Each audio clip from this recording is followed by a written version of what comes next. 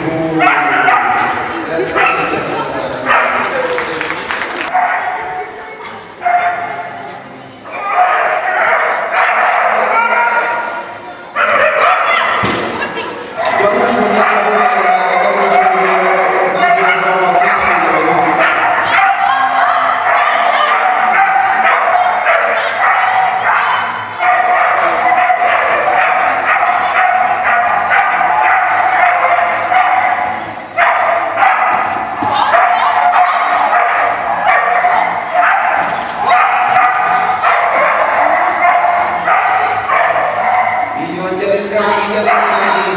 to the